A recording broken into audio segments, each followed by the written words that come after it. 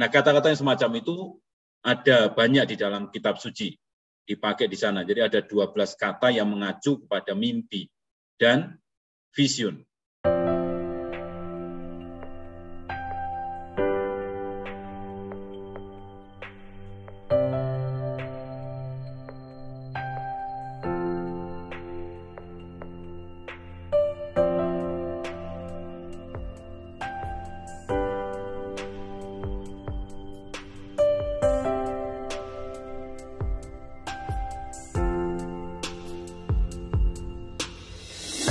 Hari ini kita membahas tema yang mungkin sedikit aneh, mungkin sedikit jarang disentuh soal mimpi yang dipakai oleh Allah sebagai sarana pewahyuan kepada Santo Yosef.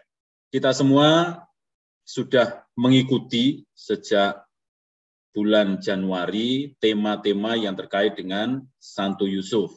Lalu juga sudah banyak sekali tema-tema serupa yang diselenggarakan oleh kelompok-kelompok yang lain berkaitan dengan Santo Yusuf ini. Jadi kadang-kadang ada yang bilang kok sepertinya mirip-mirip, kok temanya ya itu-itu saja ya, karena memang data tentang Santo Yusuf ini tidak terlalu banyak. Jadi datanya ya itu-itu saja, karena dalam kitab suci pun kita juga melihat tidak begitu banyak diceritakan soal Santo Yusuf ini. Nah kami dari Carmel Center Jakarta mencoba mengangkat sisi yang lain dari cerita atau kisah tentang Santo Yosef. Jadi kalau biasanya mungkin berkaitan dengan kepribadian, lalu spiritualitas, semangatnya, nah sekarang kita melihat relasi Santo Yosef dengan Allah dalam kaitannya dengan ini. Mimpi yang ternyata juga dipakai oleh Allah untuk menyatakan pesan kepada Santo Yosef. Pertama-tama kita melihat dulu pengertiannya apa?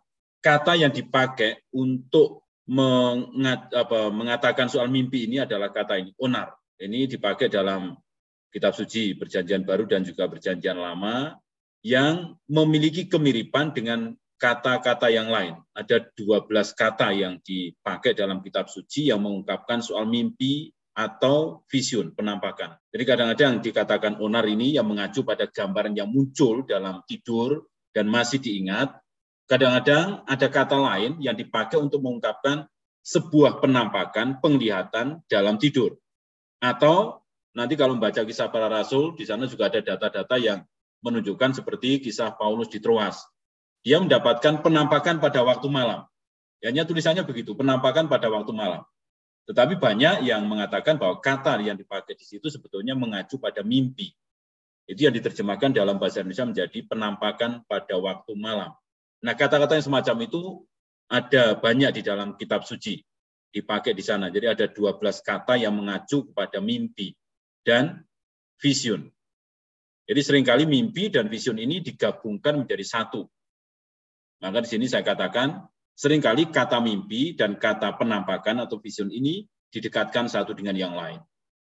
Jadi nanti kalau membaca kitab suci lalu muncul kata-kata semacam ini ya tidak perlu heran karena memang itu memiliki kedekatan arti dan juga sering kali disatukan ketika ada pengalaman-pengalaman yang memang memunculkan sebuah penampakan vision di dalam sebuah mimpi. Nah, di sini dalam pembahasan kita, kita mau memakai kata yang dipakai dalam kitab suci yang mengacu pada gambaran yang muncul dalam tidur dan masih diingat ini, yaitu onar ini. Nah, kata inilah yang dipakai dalam Matius yang menceritakan kunjungan ilahi kepada Santo Yosef. Juga ketika mimpi muncul untuk orang-orang yang bijaksana itu, orang-orang Majus dari timur, juga kepada istri Pilatus. Jadi kata yang sama ini yang dipakai untuk menunjukkan mereka ini memiliki mimpi itu. Jadi mengacu pada gambaran yang muncul selama tidur dan masih diingat oleh yang bersangkutan sehingga yang bersangkutan bisa menceritakan kembali bahwa tadi ketika tidur mengalami ini dan itu. Sama seperti istri Pilatus ketika ngomong kepada suaminya, ya jangan dihukumlah Yesus ini, jangan diperlakukan macam-macam karena saya tadi malam bermimpi begini begini begini. Nah, semacam itu. Jadi ada hal-hal tertentu yang dialami selama dalam kondisi tidur dan itu masih diingat. Nah, di sini mimpi sering kali digandengkan dengan penampakan atau vision. Nah, kita sudah melihat ini ketika membahas Yohanes Salib dan Teresa Avila. Jadi Bapak Ibu yang ikut kelas itu pasti sudah tidak asing dengan kata ini, vision. Apa yang disebut vision? Vision itu adalah sebuah citra yang bisa ditangkap oleh mata. Jadi indera mata bisa menangkap sesuatu, itu dikatakan vision atau penampakan. Nah, sering kali penampakan atau vision semacam ini tidak hanya kasat mata, mata fisik kita, tetapi juga bisa dicerap oleh indera penglihatan batin yang karakternya sama seperti penampakan atau citra tertentu yang muncul pada penampakan fisik. Tapi ditangkapnya bukan oleh indera fisik mata kita, tetapi oleh indera batin kita. Nah, mimpi sering kali juga dikaitkan dengan hal itu, karena banyak sekali citra-citra yang bisa ditangkap di sana yang ada di dalam mimpi.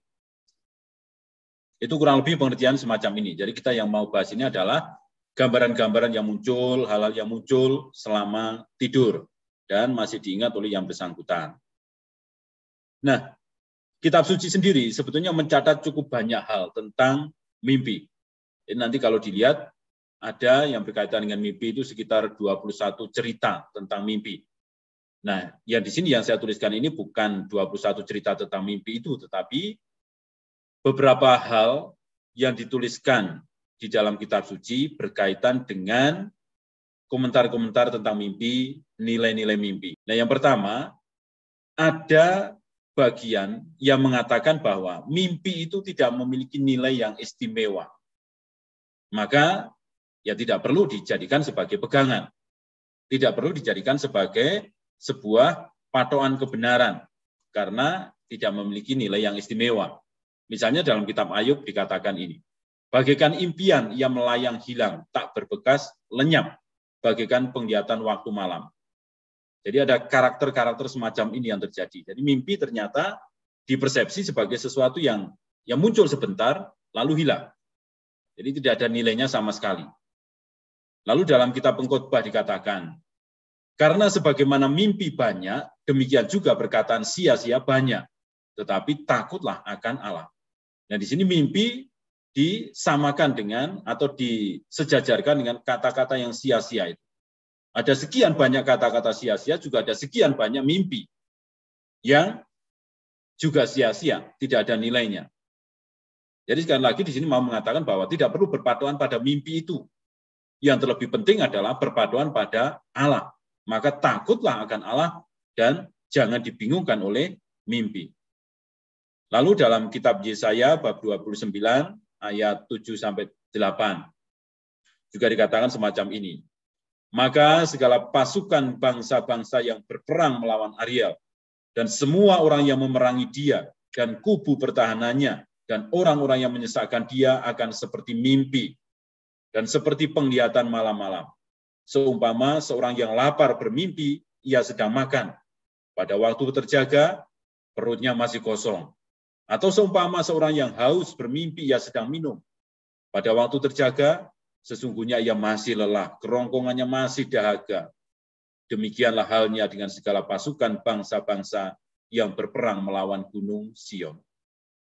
Ini memang dijadikan sebagai sarana untuk membandingkan bangsa-bangsa yang melawan suku Israel, suku pilihan Allah ini. Jadi mimpi dijadikan sebagai sarana untuk menggambarkan situasi itu.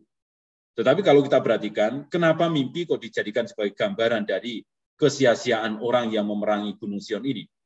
Karena mimpi tidak ada nilainya sama sekali. Nggak ada sesuatu yang istimewa. Disebutkan di situ umpamanya, kalau orang bermimpi, dia sudah makan. Ternyata begitu terjaga, dia masih kelaparan. Perutnya masih kosong. Demikian juga ketika bermimpi, sedang minum, ternyata begitu bangun dia masih kehausan. Nah, itu artinya mimpi tidak memenuhi apa-apa dari kebutuhan-kebutuhan itu. Mimpi bukan sesuatu yang real yang bisa dipegang. Nah, itu ada nuansa semacam ini. Jadi ada bagian Alkitab yang mengatakan bahwa mimpi sepertinya tidak memiliki nilai yang istimewa. Lalu juga dikatakan hampa dan sia-sia. Jadi dikatakan mimpi-mimpi yang disebut mereka adalah hampa. Itu dari kitab Zakaria, nanti bisa dilihat di sana. Serta hiburan yang diberikan mereka adalah kesia-siaan. Ini mengacu ke mana? Kepada juru-juru tenung itu. Jadi rupanya ada yang semacam ini. Jadi mimpi-mimpi mereka itu tidak ada nilainya. Mimpi-mimpi mereka itu hampa. Jadi tidak perlu dipegang. Oleh karena itulah bangsa Israel harus tetap berpegang pada iman akan Yahweh, bukan pada pesan-pesan dari juru-juru tenung. Karena mimpi-mimpi yang mereka ceritakan itu tidak ada nilainya sama sekali. Kemudian juga dari kitab Sirak, bab 34 ayat 1 sampai dengan 7. Dan juga disebutkan soal kesia-siaan itu. Harapan sia-sia yang memperdayakan bagi orang tumpul adanya. Dan Mimpi hanya membingungkan orang yang pandir. Sama seperti orang yang menangkap bayangan dan memburu-buru angin adalah orang yang mengukuhi mimpi. Penglihatan dalam mimpi adalah suatu cerminan. Di depan roman muka nampaklah gambarannya. Bagaimana dari yang najis dapat datang yang tahir, dan bagaimana dari dusta dapat lahir kebenaran. Tenung, nujum, dan mimpi adalah sia-sia belaka. Dan sama seperti yang dibayangkan hati wanita yang sedang bersalin. Apabila tidak dikirim dari yang maha tinggi sebagai kunjungannya, jangan menaruh perhatian kepadanya. Mimpi sudah menyesatkan banyak orang. Dan yang percaya kepadanya tergelincuk karenanya. Jadi sangat jelas di sini pesan dari Sirak ini. Bahwa mimpi itu sia-sia, hampa. Oleh karena itu, tidak perlu di pegang, tidak perlu dijadikan sebagai dasar untuk menentukan arah hidup. Nah, rupanya Alkitab mencatat pesan ini. Nah, berikutnya juga disebutkan bahwa mimpi ini bisa membelokkan kesetiaan umat kepada Tuhan. Jadi dia tidak lagi bisa setia kepada Tuhan hanya karena pengaruh mimpi-mimpi. Ini contohnya dari kitab ulangan dan Yeremia dikatakan semacam itu dari kitab ulangan, apabila di tengah-tengahmu muncul seorang nabi atau seorang pemimpi, dan ia memberitahukan kepadamu suatu tanda atau mukjizat, nabi atau pemimpi itu haruslah dihukum mati, karena ia telah mengajak murtad terhadap Tuhan Allahmu. Nah ini menunjukkan bahwa ada penyesat-penyesat semacam itu, yang sering kali mereka ini sebetulnya tidak mengatasnamakan Allah. Mimpi yang mereka terima, yang mereka ceritakan itu bukan berasal dari Allah. Oleh karena itulah mereka harus dihukum mati karena menyesatkan, karena mengajak murtad terhadap Tuhan. Jadi umat Israel rupanya sudah diberi peringatan seperti ini. Karena tentu mereka mungkin merasakan bahwa dari mimpi sebetulnya bisa diceritakan banyak hal dan mungkin juga ada hal-hal tertentu yang sifatnya mistis yang sifatnya membuat mereka kagum, yang membuat mereka merasa sangat luar biasa istimewa karena mendapatkan mimpi-mimpi yang luar biasa, itu bisa menggeser kesetiaan mereka dari Tuhan. Nah ini yang diharapkan oleh para nabi ini untuk diperhatikan. Jadi Tuhan sendiri pun juga mengingatkan mereka supaya mereka tidak percaya pada mimpi-mimpi semacam itu karena bisa membelokkan kesetiaan akan Tuhan. Nah, berikutnya dari kitab Yeremia. Aku telah mendengar apa yang dikatakan oleh para nabi yang bernubuat palsu demi namaku dengan mengatakan, aku telah bermimpi, aku telah bermimpi. Nah, di sini juga kelihatan kan bahwa ternyata ada nabi-nabi palsu yang nubuatnya nubuat palsu. Yang semuanya dikatakan di situ seolah-olah berasal dari Tuhan. Lalu untuk membenarkan itu mereka menggunakan mimpi. Lalu mengatakan saya bermimpi seperti ini, ini adalah bisikan Tuhan dan seterusnya. Nah ternyata itu semua palsu karena berasal bukan dari Tuhan sendiri. Nah kalau nubuatan-nubuatan semacam itu, nah ini yang perlu diwaspadai. Makanya Yeremia juga mengingatkan, sampai bila mana hal itu ada dalam hati para nabi yang bernubuat palsu dan yang bernubuatkan tipu rekan hatinya sendiri, yang merancang membuat umatku melupakan namaku dengan mimpi-mimpinya yang mereka ceritakan seorang kepada seorang. Sama seperti nenek moyang mereka melupakan namaku oleh karena Baal. Nah ini adalah peringatan kepada orang-orang Israel supaya mereka memperhatikan hal-hal seperti ini. Karena ternyata ada banyak nabi-nabi palsu yang mengatasnamakan Tuhan, padahal sama sekali bukan Tuhan yang mengatakan sesuatu bagi mereka.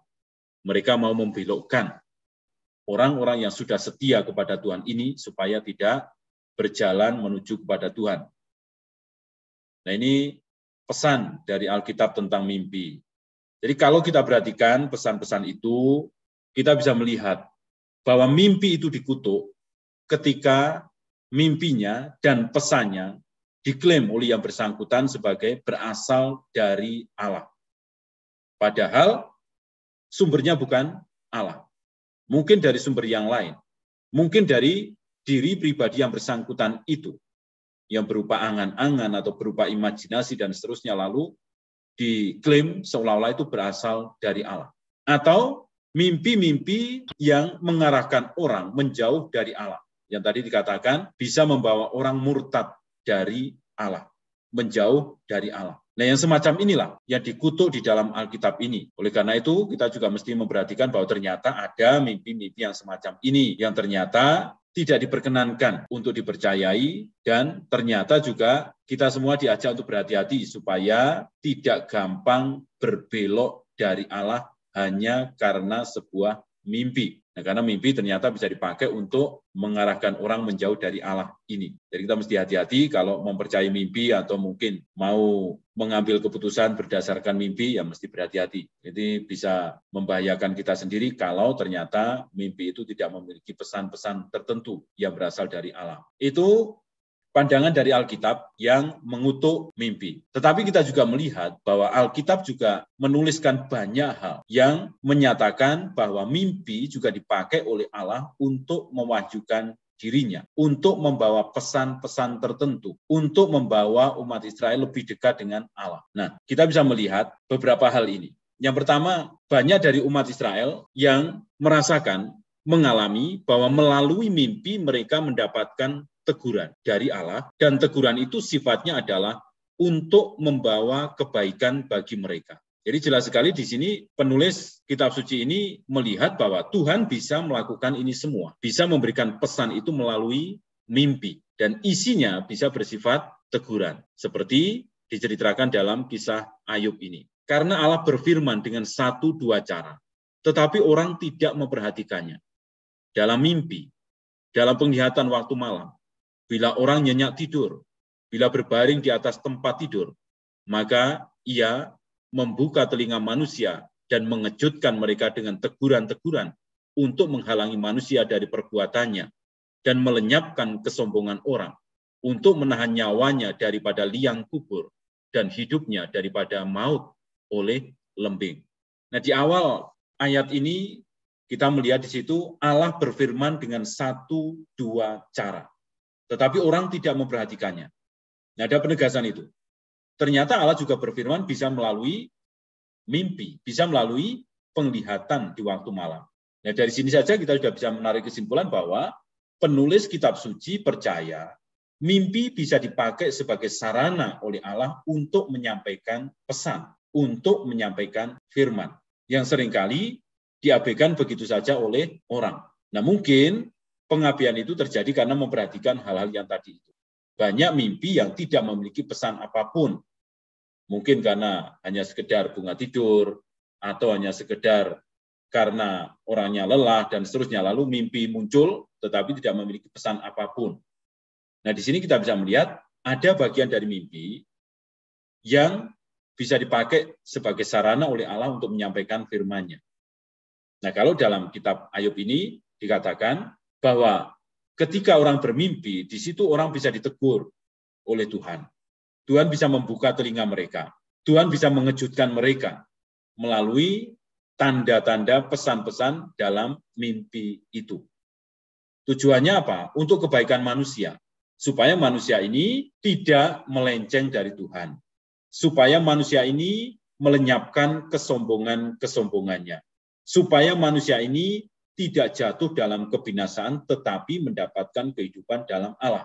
Nah, kalau kita memegang peran mimpi yang ini, kita bisa melihat bahwa ternyata mimpi yang disampaikan oleh Allah itu memiliki nilai yang sangat luar biasa, yaitu mengarahkan orang untuk tetap setia kepada Tuhan, mengarahkan orang untuk selalu mengutamakan dan melatih keutamaan-keutamaan hidup, dan mengarahkan orang untuk bisa sampai pada keselamatan.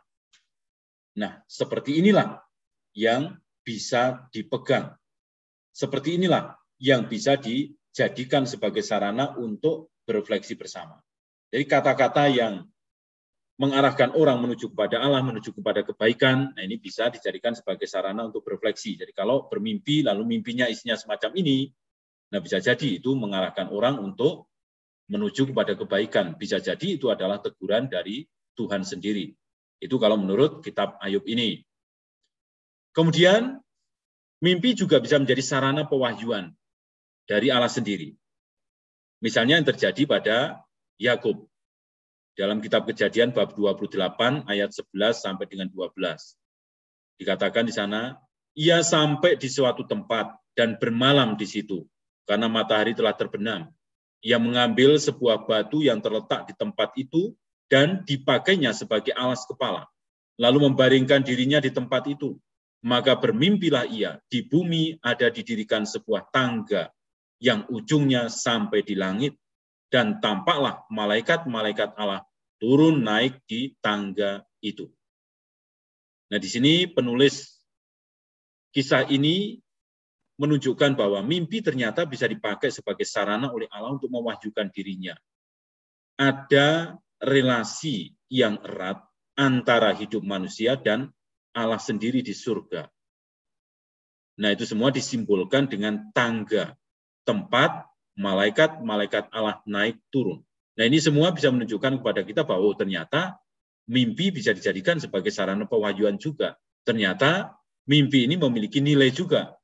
Jadi satu sisi tadi dikatakan sia-sia, tidak ada nilainya, tetapi di sisi yang lain Alkitab mengatakan mimpi juga bernilai karena bisa dijadikan sebagai sarana pewahyuan. Demikian juga yang terjadi dengan Salomo. Di Gibeon, Tuhan menampakkan diri kepada Salomo dalam mimpi pada waktu malam. Berfirmanlah Allah, mintalah apa yang hendak kuberikan kepadamu. Nah saat itu juga si Salomo meminta kebijaksanaan. Nah ini adalah pewahyuan dari Allah. Allah menyatakan dirinya kepada Salomo dan mengeluarkan firman itu. Mintalah apa yang apa yang hendak kuberikan kepadamu. Jadi di sini ditegaskan bahwa mimpi dijadikan sebagai sarana pewahyuan diri Allah. Jadi ada aspek ini juga. Lalu berikutnya, mimpi juga bisa membawa pesan-pesan dari Allah. Bukan hanya soal pewahyuan tentang keilahian, tetapi juga pesan-pesan dari Allah. Nah, di sini misalnya yang terjadi dalam diri Yakub tadi. Malaikat Allah berfirman kepadaku dalam mimpi itu. Yakub, jawabku, Ya Tuhan, lalu ia berfirman, Angkatlah mukamu dan lihatlah bahwa segala jantan yang menjantani kambing domba itu bercoreng-coreng, berbintik-bintik, dan berbelang-belang, sebab telah kulihat semua yang dilakukan oleh Laban itu kepadamu. Akulah Allah yang di Betel itu, di mana engkau mengurapi tugu, dan di mana engkau bernasar kepadaku. Maka sekarang bersiaplah engkau, pergilah dari negeri ini dan pulanglah ke negeri sanak saudaramu. Nah, mimpi dipakai sebagai sarana oleh Allah untuk meninggalkan pesan ini kepada Yakub. Di sini Allah menyatakan kepada Yakub bahwa apa yang terjadi di dalam situasi kesehariannya di dunia yang real itu didengarkan oleh Allah, dilihat oleh Allah. Dan itulah yang akhirnya membawa pesan soal kambing domba yang bercoreng-coreng dan berbintik-bintik ini. Ini juga menunjukkan bahwa Allah ternyata masih bekerja, berintervensi di dalam kehidupan orang-orang pilihannya. Dan intervensi itu dikerjakan salah satunya melalui mimpi. Jadi bukan hanya di dalam realitas, tapi realitas itu juga diteguhkan melalui pesan-pesan dalam mimpi ini. Nah berikutnya dalam kejadian 31 ayat 24. Pada waktu malam datanglah Allah dalam suatu mimpi kepada Laban, orang Aram itu, serta berfirman kepadanya, Jagalah baik-baik supaya engkau jangan mengatai Yakub dengan sepatah kata pun. Jadi baik Yakub maupun Laban sama-sama mendapatkan pesan dari Allah. Jadi kalau Yakub mendapatkan pesan perlindungan bahwa dia akan dilindungi, lalu dia diminta untuk pergi ke negerinya, pulang kembali ke sanak saudaranya. Nah sekarang Laban berbeda. Ini Laban ini tempat Yakub bekerja dan dari Laban inilah Yakub juga memperoleh anak Laban sebagai istri. Nah di situ Laban diperingatkan oleh Tuhan melalui mimpi ini. Jangan sampai dia memperdayai si Yakub itu. Jadi pesannya sangat jelas di sini. Nah, rupanya mimpi bisa dipakai sebagai sarana ini. Juga kita masih bisa melihat pesan-pesan Allah yang diberikan kepada manusia melalui mimpi. Misalnya kepada Firaun, kejadian bab 41 ayat 1 sampai dengan 32. Lalu Yakub yang sudah tua, kejadian bab 46 ayat 1 sampai dengan 4. Berikutnya juga dikatakan dalam 1 Samuel 28 ayat 6. Allah sudah tidak lagi memberikan pesan-pesan apa pun kepada Saul, entah itu melalui mimpi, entah melalui sarana-sarana yang lain. Jadi rupanya sebelumnya mimpi dipakai sebagai sarana Allah untuk memberikan pesan kepada Saul. Nah, karena Saul memiliki kesalahan tertentu, maka Tuhan berpaling dari Saul dan tidak lagi memberikan pesan-pesan itu kepada Saul entah melalui sarana lain, entah melalui mimpi.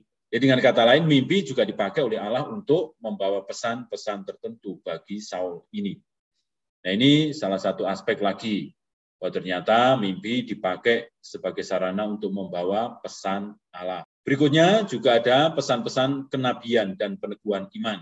Nah, kita masih ingat cerita tentang Yusuf anak Yakub. Dia bermimpi bahwa dia akan menjadi pusat dari semuanya itu. Lalu anggota keluarganya yang lain akan tunduk kepadanya. Nah, ketika dia menceritakan itu, saudara-saudaranya kemudian membenci dia. Seolah-olah mereka ini mau diperdaya oleh Yakub itu. Kok sampai tiga-tiganya Yakub memperlakukan saudara-saudaranya sebagai orang-orang yang harus tunduk kepadanya. Tapi nanti kita bisa melihat dalam cerita Yusuf itu ternyata semuanya itu terjadi. Jadi di sini kelihatan bahwa ada sebuah nubuatan kenabian bahwa sekarang mimpinya begini, ini akan terjadi kemudian nanti. Demikian juga Daniel, demikian juga di dalam kitab Esther. Kitab Esther ini ditambah Esther 1, bab 1 ayat 2 sampai 12 atau bab 6 ayat 2 itu adalah mimpi Mordekai. Mordekai bermimpi tentang situasi zaman itu. Lalu ternyata semuanya terjadi, terpenuhi melalui tokoh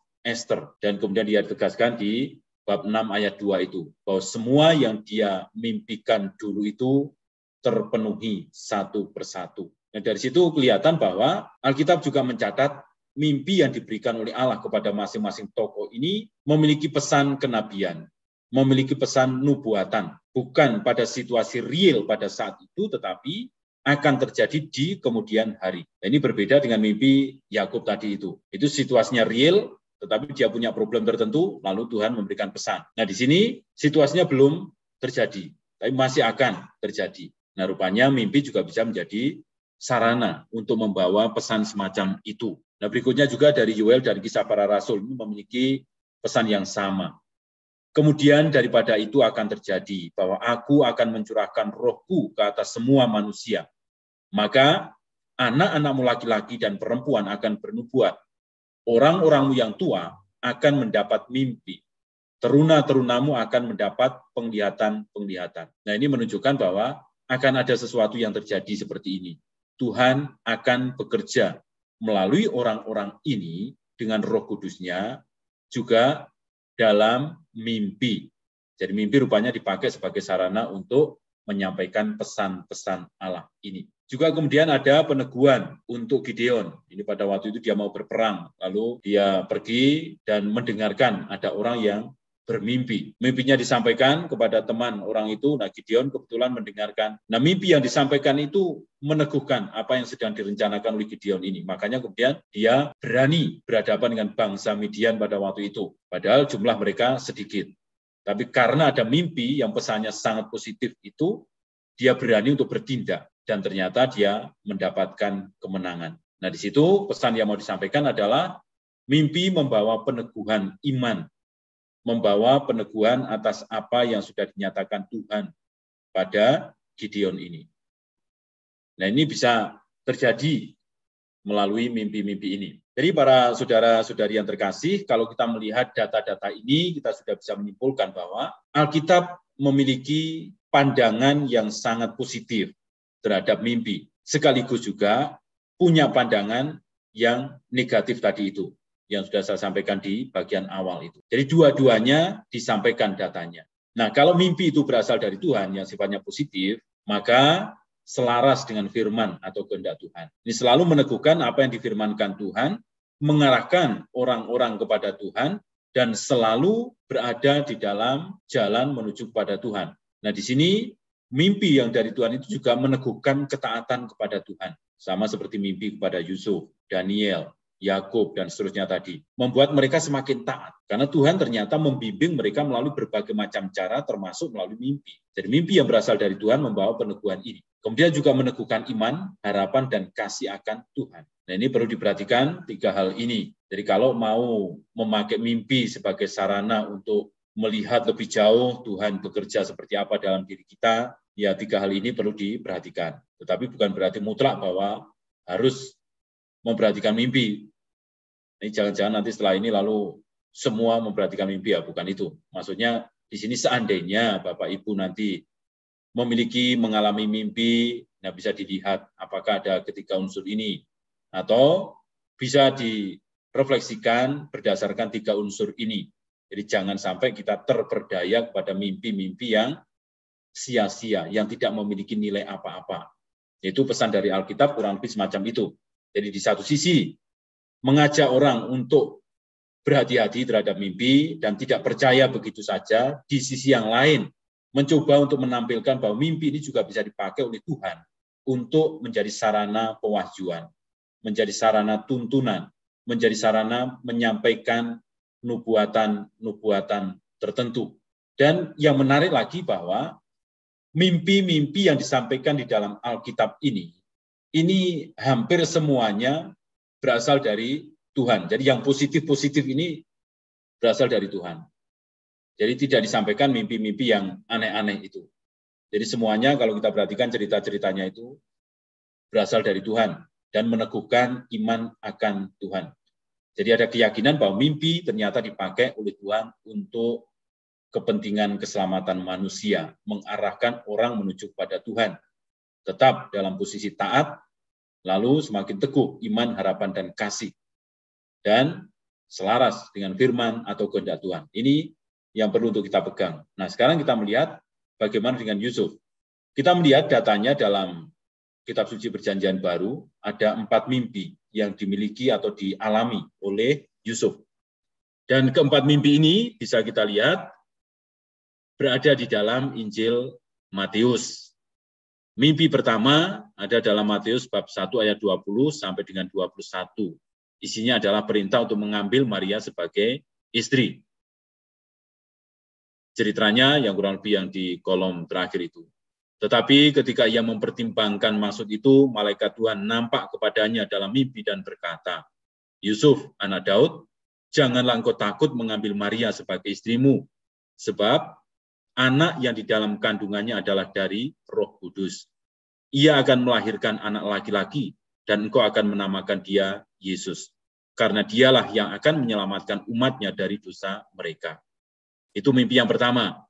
Jadi Yusuf diperintahkan untuk mengambil Maria sebagai istri. Mimpi yang kedua dituliskan dalam Matius bab 2 ayat 13, yaitu perintah mengungsi ke Mesir. Setelah orang-orang Majus itu berangkat, nampaklah malaikat Tuhan kepada Yusuf dalam mimpi dan berkata, Bangunlah, ambillah anak itu serta ibunya, larilah ke Mesir dan tinggallah di sana sampai aku berfirman kepadamu, karena Herodes akan mencari anak itu untuk membunuh dia. Itu mimpi kedua. Mimpi ketiga, perintah kembali ke Israel. Bangunlah, ambillah anak itu serta ibunya dan berangkatlah ke tanah Israel, karena mereka yang hendak membunuh anak itu sudah mati. Lalu mimpi yang keempat ada dalam Matius bab 2 ayat 22. Isinya nasihat supaya pergi ke Nazaret. Tetapi setelah didengarnya bahwa Archelaus menjadi raja di Yudea menggantikan Herodes ayahnya, ia takut ke sana.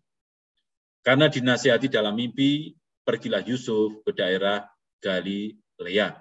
Dan akhirnya nanti tinggalnya di Nazaret di Galilea. Ini adalah empat mimpi yang dialami oleh Yusuf sendiri. Mari kita lihat bagian per bagian.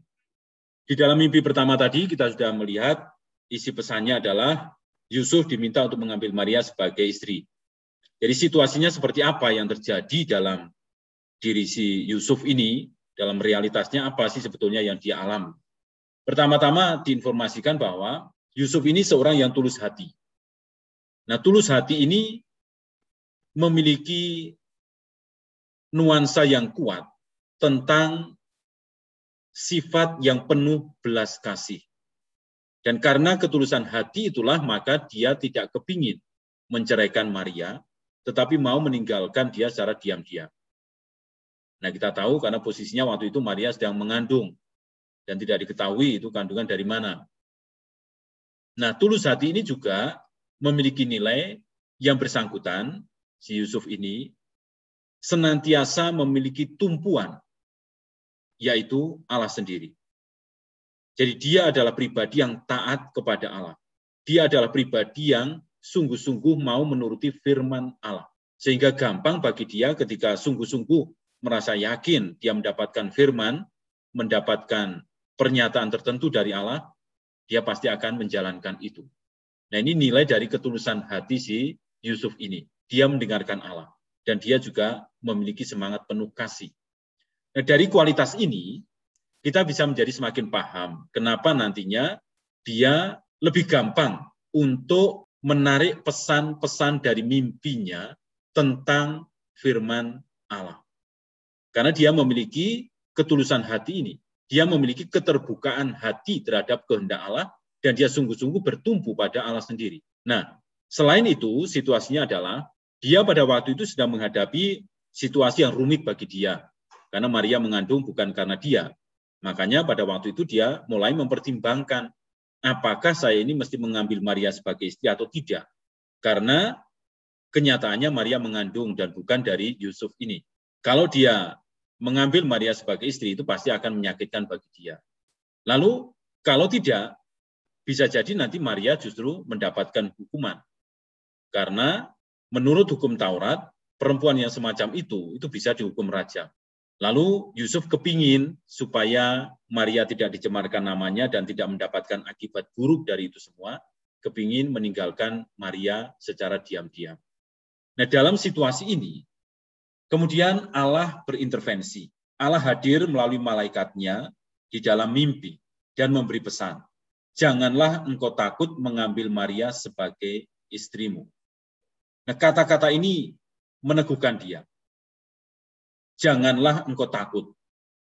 Jadi kelihatan sekali bahwa situasi batin yang pada waktu itu dialami oleh Yusuf adalah ketakutan, kebingungan, kebimbangan. Saya mesti mengambil Maria sebagai istri atau tidak. Tetapi kemudian firman Allah jelas mengatakan jangan takut. Walaupun ada konsekuensi-konsekuensi yang harus dia tanggung ketika dia harus mengambil Maria sebagai istri. Tetapi ada garansi ini, jangan takut. Nah ini semua diterima oleh Yusuf sebagai sebuah peneguhan atas situasi yang dia alami, supaya dia tidak takut dan sekaligus juga petunjuk untuk mengambil keputusan. Jadi kalau tadinya dia bimbang, saya ini mau mengambil Maria sebagai istri atau meninggalkan dia, sekarang kebimbangannya itu diteguhkan oleh Allah. Ini yang harus kamu putuskan. Kamu mesti mengambil Maria sebagai istrimu.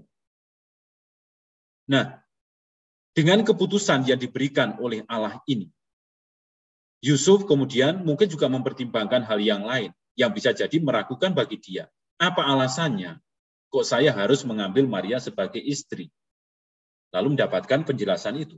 Sebab anak yang di dalam kandungannya adalah dari Roh Kudus. Ia akan melahirkan anak laki-laki dan engkau akan menamakan dia Yesus. Karena dialah yang akan menyelamatkan umatnya dari dosa mereka. Nah dari sini keraguan-raguan yang dihadapi oleh Yusuf tadi sudah dijawabi oleh Tuhan. Dari mana sih Maria mengandung ini? Dijawabi oleh Tuhan bahwa kandungannya itu berasal dari Roh Kudus. Nah, sekaligus juga ada sebuah nubuatan, ada sebuah kata-kata kenabian. Ia akan melahirkan anak laki-laki. Jadi sudah diberitahukan lebih dahulu. Jenis kelamin anak yang dikandung Maria ini adalah laki-laki. Dan engkau akan menamakan dia Yesus. Jadi semuanya masih akan terjadi, akan dan akan. Dan Yesus ini memiliki peran penting, akan menyelamatkan umatnya dari dosa mereka. Nah ini nilai dari pewajuan yang sifatnya nubuatan atau kenabian. Jadi di sini kita sudah bisa melihat secara lengkap ada pewahyuan Allah tentang dirinya, ada petunjuk yang harus dikerjakan oleh Yusuf, ada peneguhan terhadap situasi yang dihadapi oleh Yusuf sehingga dia bisa mengambil keputusan dan sekaligus juga ada nubuatan, ada kenabian di sini akan situasi yang akan terjadi. Nah, ini mimpi dari Allah. Jadi kalau kita perhatikan situasi real yang dihadapi oleh Yusuf sekarang dijawabi oleh Allah dengan pesan-pesan melalui mimpi ini. Dan karena Yusuf adalah orang yang tulus hati, yang memperhatikan firman Allah, dia akhirnya mengambil keputusan mengambil Maria sebagai istri, mengerjakan apa yang dipesankan Allah ini. Dia tidak jadi meninggalkan Maria, tetapi mengambil Maria sebagai istri. Jadi ini tanggapan terhadap pewahyuan yang diberikan Allah melalui mimpi. Berikutnya mimpi yang kedua situasinya apa? Situasi yang sedang dihadapi oleh Yusuf adalah ancaman keamanan dari Herodes. Jadi setelah mendapatkan kunjungan dari orang-orang Majus, dia mendapatkan petunjuk bahwa Herodes ini sedang mencari-cari Yesus untuk dibunuh. Karena bagi Herodes, Yesus adalah ancaman. Nah, apakah pada waktu itu si Yusuf ini tahu situasi itu? Mungkin tidak. Karena orang-orang Majus itu pun juga tidak tahu kalau Herodes akan mengambil keputusan seperti itu. Jadi pada waktu itu orang-orang Majus hanya bertanya kepada Herodes di manakah raja ini akan dilahirkan. Lalu Herodes mengumpulkan orang-orang pintarnya itu, ahli-ahli kitabnya itu, kemudian memberikan petunjuk. Ada di Bethlehem. Lalu orang-orang Majus berangkat ke Bethlehem. Nah, sementara Herodes sendiri ternyata punya rencana. Nah, situasi ini ini bisa jadi belum dimengerti oleh si Yusuf bahwa Herodes memiliki rencana semacam itu. Tetapi kemudian ketika rencana itu diaplikasikan, dikerjakan, Herodes mencari anak-anak yang usianya kurang lebih menyerupai usia Yesus waktu itu lalu membunuh mereka semua di situ. Kemudian dia bisa menjadi sadar bahwa oh ternyata ada ancaman ini. Kok Herodes mulai membunuh anak-anak yang usianya kecil ini. Nah, karena ancaman itulah, kemudian dia juga mungkin merasa galau juga, bingung juga. Harus bagaimana dengan situasi ini? Nah, saat itulah kemudian Tuhan intervensi lagi. Memberikan pesan, memberikan petunjuk dan nubuatan. Bangunlah, ambillah anak itu serta ibunya. Larilah ke Mesir dan tinggallah di sana sampai aku berfirman kepadamu. Karena Herodes akan mencari anak itu untuk membunuh dia. Jadi jelas sekali tindakan yang mesti dikerjakan oleh Yusuf. Nah ini pesan yang sangat-sangat jelas kepada Yusuf. Ambil anak itu, lalu bawa ke Mesir. Setelah itu nanti tinggallah di sana. Sampai ada pesan berikutnya. Jadi instruksinya sudah sangat jelas. Jadi saya kira kalau ada mimpi yang semacam ini bagi kita, enak sekali pasti ya. Kita ketika kita mengalami situasi-situasi yang membuat kita bingung, tidak tahu harus berbuat apa, tidak tahu harus memutuskan apa, tiba-tiba muncul pesan seperti ini yang sangat jelas. Itu pasti akan memudahkan kita. Ini beruntung bahwa Yusuf mendapatkan pengalaman semacam ini. Jadi di situ ada pesan yang isinya petunjuk, sekaligus juga pewahyuan di situ bahwa Herodes akan mencari Yesus itu untuk membunuh dia. Lalu tindakan Yusuf apa? Sama seperti yang sebelumnya, dia mengambil Maria dan Yesus lalu membawa mereka ke Mesir. Jadi dia sungguh-sungguh menjalankan amanat atau pesan yang disampaikan oleh Allah ini di dalam mimpi itu. Lalu mimpi yang ketiga, situasinya adalah sekarang sudah aman. Ancaman yang tadinya membuat ketakutan itu sudah sirna. Herodes sudah meninggal. Nah, dalam situasi yang aman itu, mimpi yang berasal dari Allah isinya apa? Pewahyuan dan petunjuk juga. Bangunlah, ambillah anak itu serta ibunya, dan berangkatlah ke tanah Israel, karena mereka yang hendak membunuh anak itu sudah mati. Jadi jelas sekali di sini juga ada perintah-perintah yang sangat tegas, jelas, lugas, yang diberikan kepada Yusuf. ambil anak itu serta ibunya, berangkatlah ke tanah Israel. Jadi kalau tadi ke Mesir, sekarang kembali ke Israel. Karena apa? Karena situasi sudah aman. Yang hendak membunuh Yesus sudah mati. Lalu tindakan Yosef adalah mengambil Maria dan Yesus, membawa mereka kembali ke tanah Israel. Lalu mimpi yang keempat. Mimpi yang keempat ini diwarnai dengan situasi ketakutan akan ancaman dari kekuasaan. Jadi rupanya walaupun sudah dikatakan tadi Herodes sudah tidak mengancam lagi, tetapi ada penguasa baru yang bagi Yusuf juga menjadi sebuah ketakutan tersendiri. Jangan-jangan nanti sama seperti penguasa sebelumnya. Nah, ke dalam ketakutan itu dia mendapatkan petunjuk dari Tuhan. Tetapi setelah didengarnya bahwa Arkilaus menjadi raja di Yudea menggantikan Herodes, ayahnya, ia takut ke sana. Karena dinasihati dalam mimpi, pergilah Yusuf ke daerah Galilea. Jadi ketakutan Yusuf dijawab oleh Allah. Dia tidak berani untuk pergi ke Yudea, tetapi kemudian diberi petunjuk. Tidak usah pergi ke sana, pergilah ke Galilea. Dan petunjuk itu sangat jelas berasal dari Tuhan di dalam mimpi. Lalu tindakan yang dikerjakan Yusuf adalah mengambil Maria dan Yesus. Membawa mereka ke Nazaret di Galilea. Ini yang terjadi dengan Yusuf. Nah, kalau kita memperhatikan mimpi Yusuf, ada beberapa hal yang bisa kita petik di situ bahwa pertama-tama Allah memiliki rencana atas hidup dari si Yosef ini. Yaitu menjadi ayah angkat dari Yesus, menjadi kepala keluarga dari keluarga kudus Nazaret. Karena Allah memiliki rencana atas hidup Yusuf ini, kelihatan sekali bahwa Yusuf selalu dituntun, selalu dibimbing, supaya bisa menjalankan rencana itu dengan sebaik-baiknya. Allah menuntun melalui berbagai macam cara, salah satunya melalui mimpi. Lalu yang ketiga, Yusuf adalah pribadi yang tulus hati. Dia begitu memperhatikan firman Tuhan, hidupnya terarah pada Tuhan, sekaligus dia juga memiliki kebaikan hati, kemurahan hati. Nah, karena situasi itu, kemudian dia lebih gampang untuk menangkap pewahyuan yang diberikan oleh Allah melalui berbagai macam cara, termasuk yang diberikan kepadanya melalui mimpi. Jadi gampang bagi dia untuk menangkap pesan itu. Lalu yang keempat, dia berani menjalankan amanat Allah yang dikenali dalam mimpi. Karena apa? Amanatnya itu sama karakternya dengan mimpi-mimpi yang dalam perjanjian lama tadi itu. Mengarahkan orang menuju kepada keselamatan, mengarahkan orang untuk tetap taat kepada Tuhan, mengarahkan orang untuk setia kepada Tuhan, dan mengarahkan orang untuk senantiasa teguh dalam iman, harapan, dan kasih. Nah ini karakter dari mimpi yang dihadapi oleh si Yusuf ini.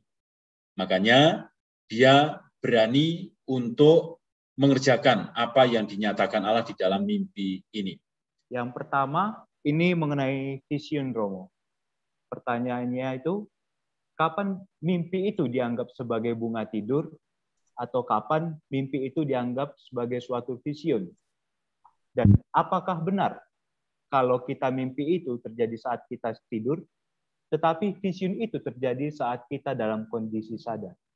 Jadi pengertian kata vision atau penampakan atau penglihatan itu yang seperti tadi sudah saya jelaskan bahwa ada citra tertentu yang bisa ditangkap oleh indera kita, baik itu oleh indera penglihatan fisik maupun oleh indera penglihatan batin. Nah, citra yang semacam itu yang bisa ditangkap oleh indera mata fisik maupun batin itu juga bisa ditangkap dalam keadaan yang sadar maupun dalam keadaan yang tidak sadar sedang tidur. Makanya sering kali dalam Alkitab pun juga diceritakan hal yang sama. Ketika tidur, sepertinya melihat sesuatu.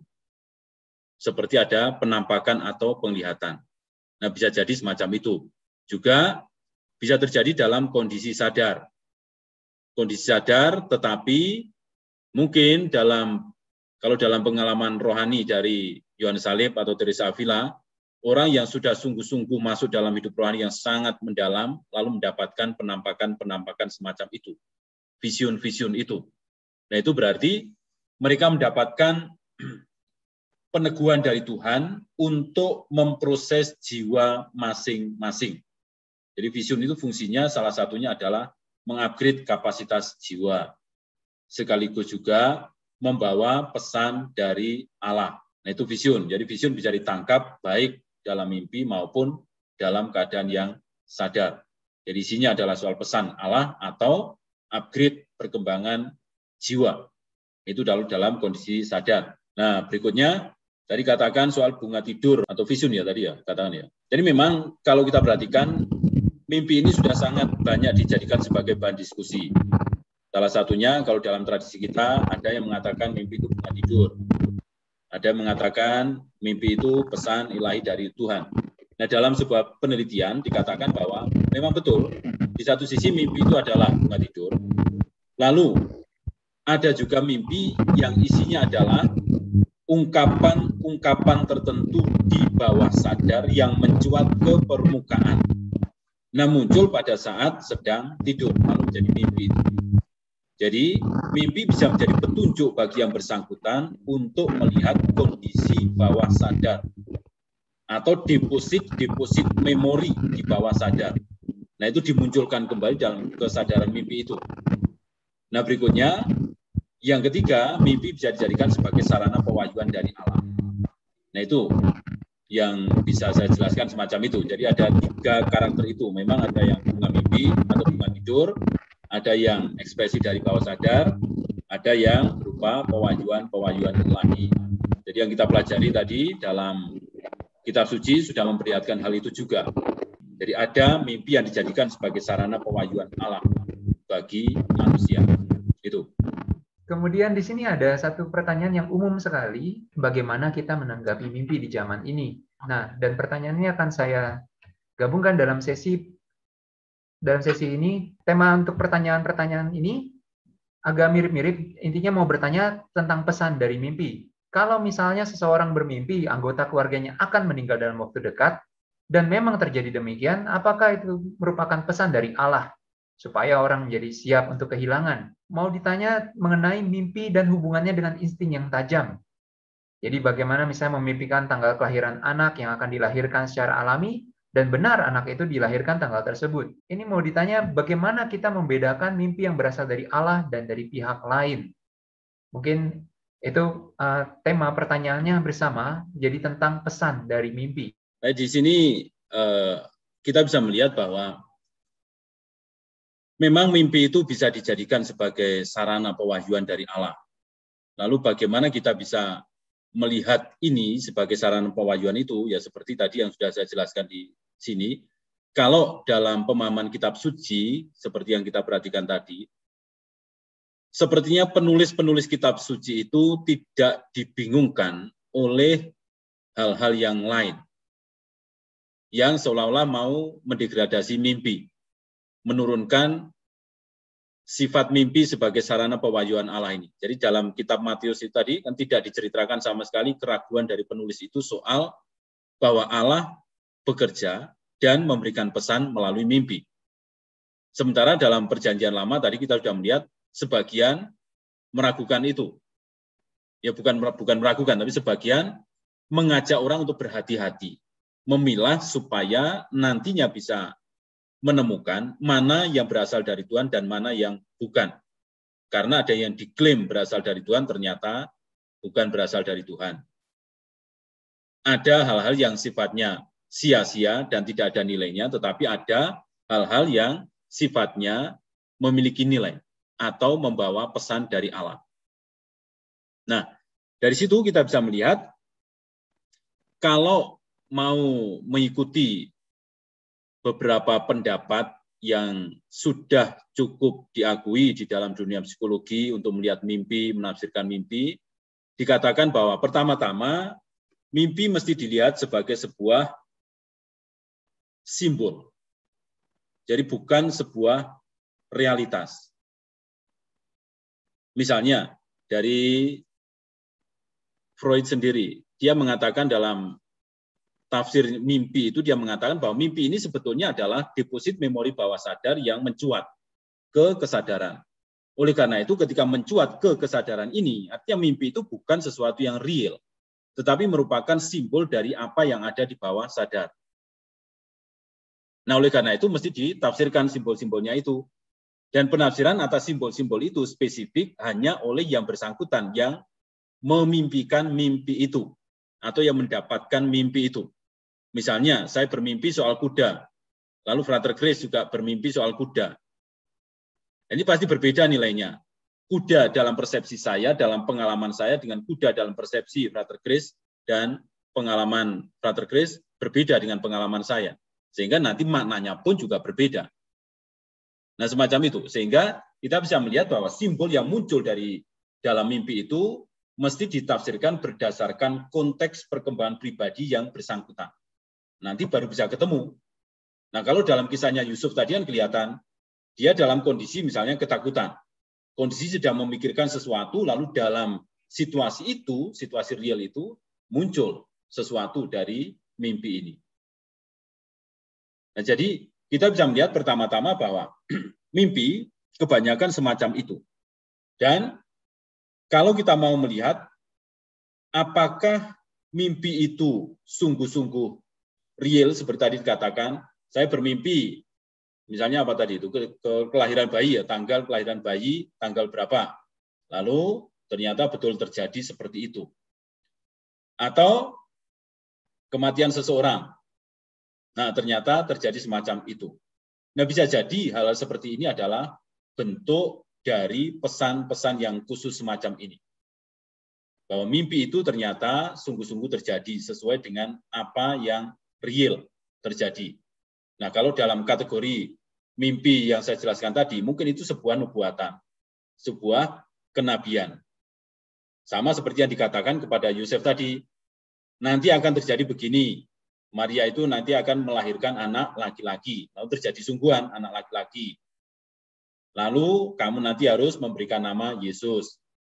Atau ini nanti akan ada Herodes itu yang akan mencari anak ini untuk dibunuh. Dan terjadi demikian juga. Jadi korelasinya adalah mimpi yang muncul dengan realitas ternyata sama.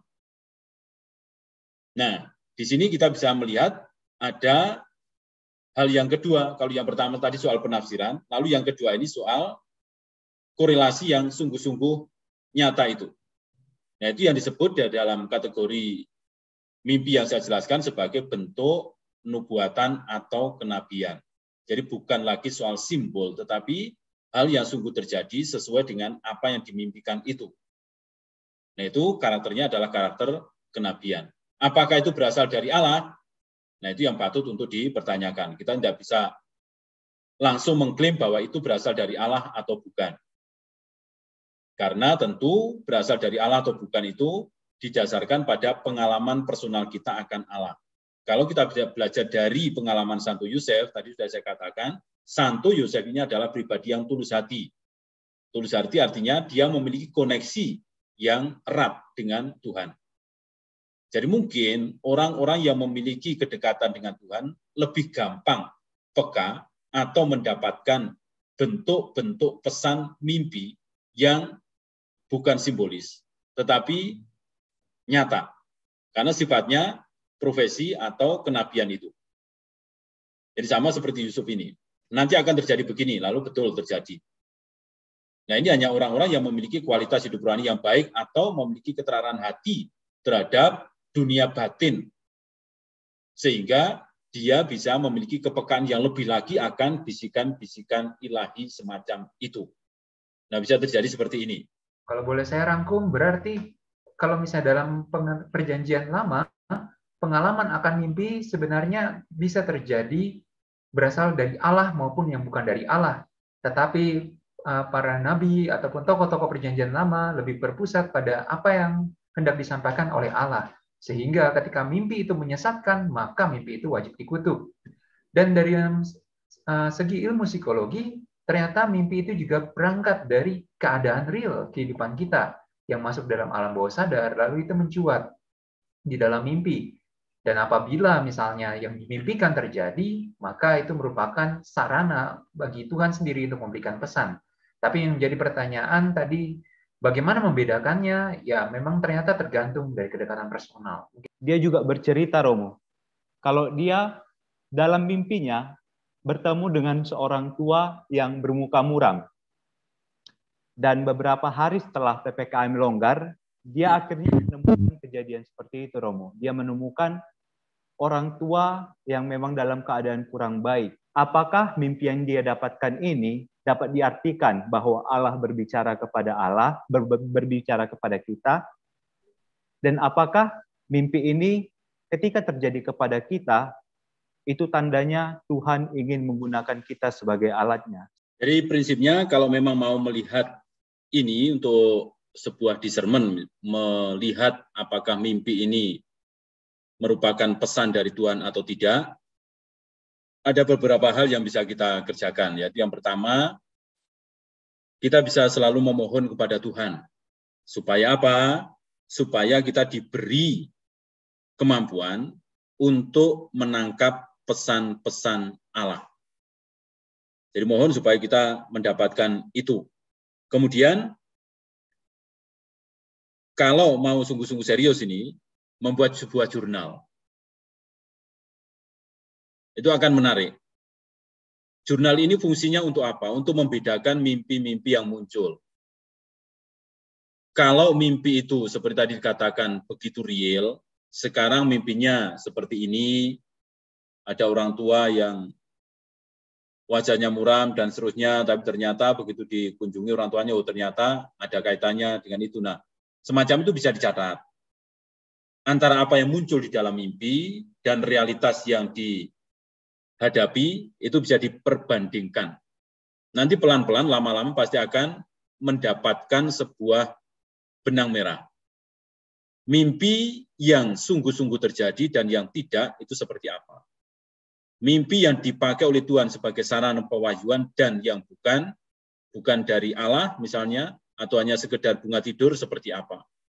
Lalu mimpi yang ternyata hanya mengungkap bagian bawah sadar kita seperti apa, nah itu nanti juga akan kelihatan. Jadi kalau kita rajin membuat jurnal pasti akan menemukan itu. Jadi tadi sudah saya katakan, pertama berdoa, lalu kedua membuat jurnal, kemudian istirahat yang cukup. Kenapa istirahat yang cukup ini perlu? Ya untuk melihat bahwa kualitas tidur kita. Karena mimpi itu nanti kalau dalam penelitian psikologis kan juga berkaitan dengan itu. Ada mimpi yang hanya kesadaran awal atau kesadaran yang disebutnya apa itu istilahnya? kesadaran beta, lalu ada kesadaran alfa yang lebih rendah, lalu kesadaran theta, delta, itu yang lebih rendah lagi. Nah, ini kualitas mimpi yang muncul dari kesadaran-kesadaran itu kan berbeda-beda. Ada yang di permukaan saja, itu yang sifatnya tadi itu dikatakan bunga tidur tadi itu atau yang lebih dalam lagi itu nanti akan membawa pesan-pesan bawah sadar ke permukaan atau jenis mimpi yang membawa pewahyuan dari Tuhan. Nah, itu nanti kalau dicatat dalam jurnal pasti akan kelihatan.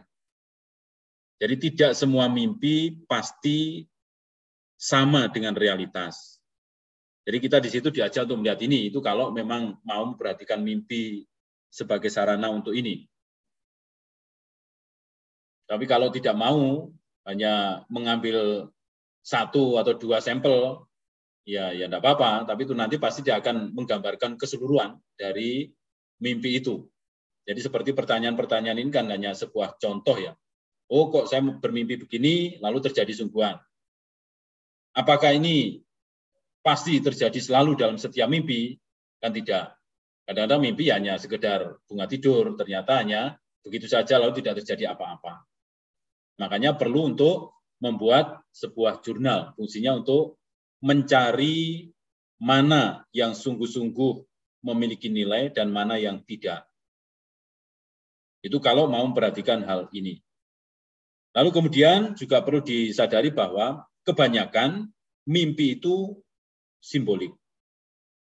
Jadi bukan realis yang seperti diceritakan tadi, hanya banyak simbol-simbol di situ maka perlu untuk menafsirkan simbol secara lebih baik. Dan berikutnya juga jangan sampai mengambil keputusan berdasarkan mimpi. Jadi kalau hanya berdasarkan mimpi, keputusan itu nanti bisa keliru. Jadi perlu juga pertimbangan-pertimbangan yang lain.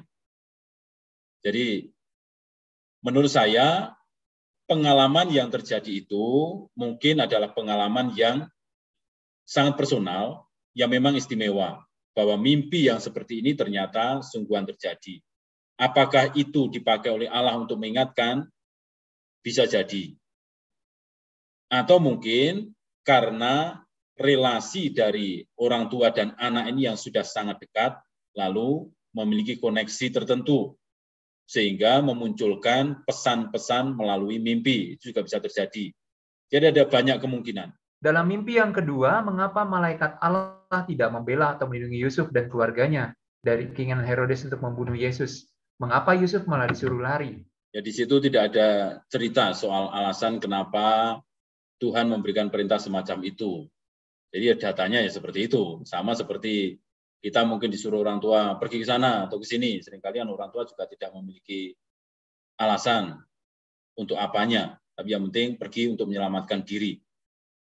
Kenapa kok tidak melindungi? Yaitu penyelenggaraan ilahi. Bisa jadi kalau dalam kacamata olah rohani, bisa jadi ini semua dinyatakan kepada Yusuf untuk semakin memperkuat kapasitas jiwa dari Yusuf ini. Kapasitas jiwa bagian apanya yang diperkuat? Kesetiaan, ketaatan, dan kemauan untuk berkorban dalam menjalankan amanat-amanat Allah. Nah itu kapasitas-kapasitas itu yang perlu untuk diolah. Sehingga ketika dia diberi sebuah ujian, ini loh sekarang ada ancaman gini, kamu mesti pergi ke sana. Itu kan mungkin berat bagi dia. Pergi ke sana itu kan bukan sesuatu yang gampang. Dia harus membongkar segala sesuatunya yang sudah ada di situ, lalu dibawa ke sana, dan belum tentu nanti perjalanan itu juga selamat, pasti masih ada hal-hal lain yang perlu untuk diperhatikan. Nah kalau malaikatnya hanya Ya sudah, enggak apa-apa, sekarang kamu aku lindungi. Nah, itu berarti kapasitas jiwa dari yang bersangkutan tidak dilatih apa-apa. Dia seperti dimanjakan dalam perlindungan malaikat itu, dimanjakan dalam perlindungan Allah itu. Sementara dalam hidup rohani yang normal, itu biasanya ada perkembangan demi perkembangan yang dikehendaki dilatihkan oleh manusianya. Bekerja sama dengan kuasa roh kudus untuk memurnikan dan memperkuat kapasitas jiwa itu.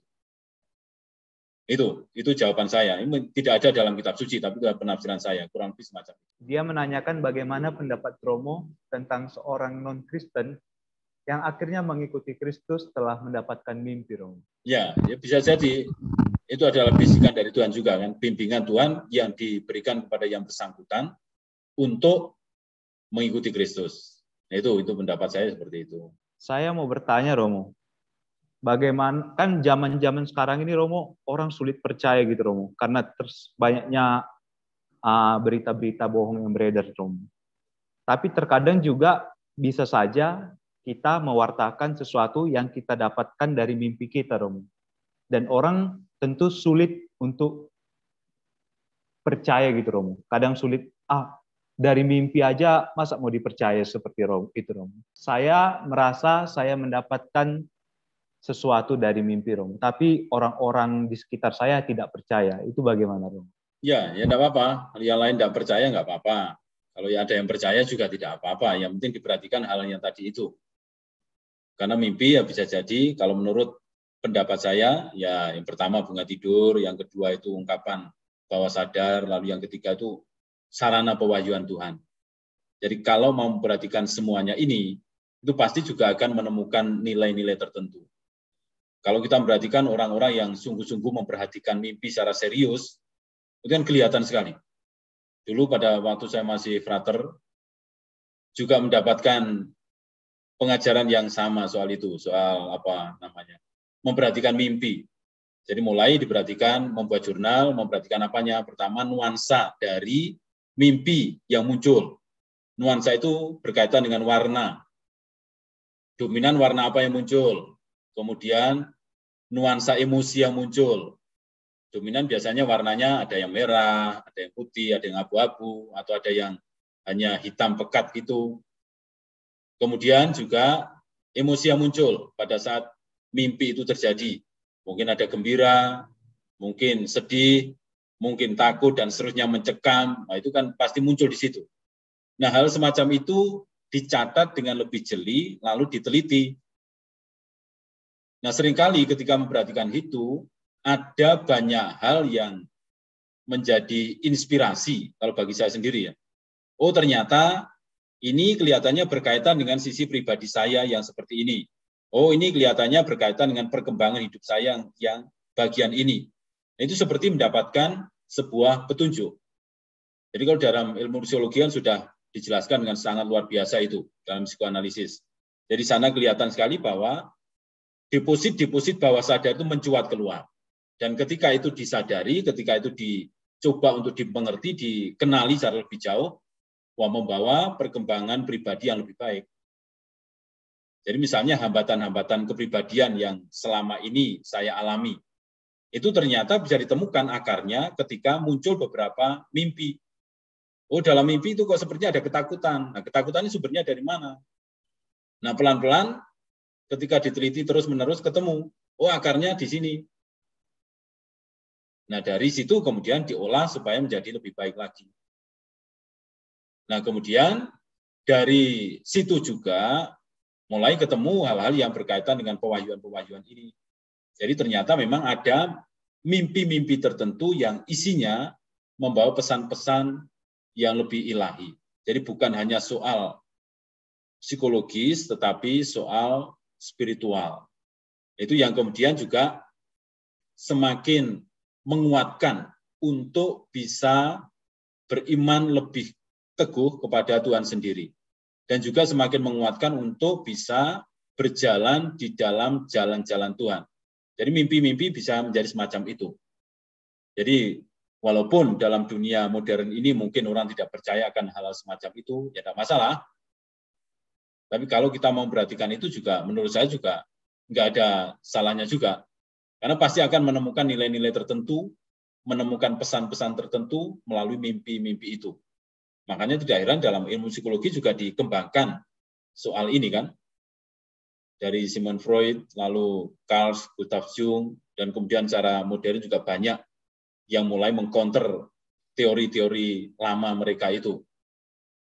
Artinya, ya mimpi dianggap memiliki pesan. Walaupun di situ pesannya secara psikologis. Lalu di sisi lain, ada banyak orang yang berusaha untuk mencari pesan-pesan yang lebih rohani dari mimpi-mimpi itu dan mereka juga menemukan hal yang sama. Jadi boleh bersikap mau mempercayai dan menganalisa mimpi itu secara lebih baik, juga boleh bersikap tidak percaya dan mengabaikan itu. Itu terserah masing-masing pribadi. Itu silakan. Ini saya hanya mau memberikan informasi berkaitan dengan Santo Yosef seturut refleksi berbulan-bulan yang saya lihat itu.